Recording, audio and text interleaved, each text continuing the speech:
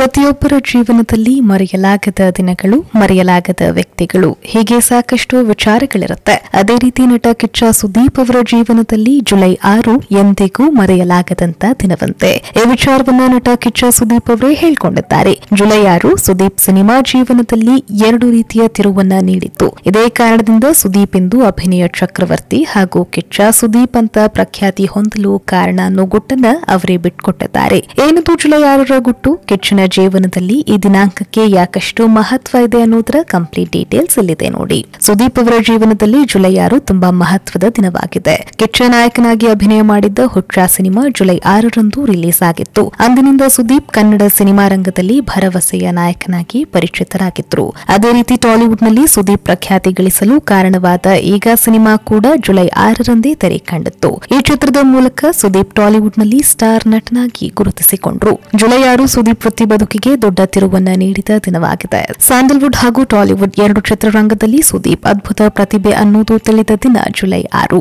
ಎರಡು ಚಿತ್ರಗಳಿಂದ ಸುದೀಪ್ ವೃತ್ತಿ ಜೀವನದಲ್ಲಿ ಸಾಕಷ್ಟು ಬದಲಾವಣೆ ಕಂಡಿದ್ದು ಸುದೀಪ್ ಭಾರತೀಯ ಚಿತ್ರರಂಗದಲ್ಲಿ ಹೆಸರು ಗಳಿಸಲು ಅವಕಾಶ ಮಾಡಿಕೊಟ್ಟಿರುವುದಾಗಿ ಸುದೀಪ್ ತಮ್ಮ ಟ್ವಿಟರ್ನಲ್ಲಿ ಬರೆದುಕೊಂಡಿದ್ದಾರೆ ಹಾಗೆ ಇಂತಹ ಖುಷಿ ಸಮಯದಲ್ಲಿ ಅಭಿಮಾನಿಗಳ ಬೆಂಬಲ ಹಾಗೂ ಪ್ರೀತಿಯನ್ನ ಸ್ಮರಿಸುವುದು ಸುದೀಪ್ ಮರೆತಿಲ್ಲ.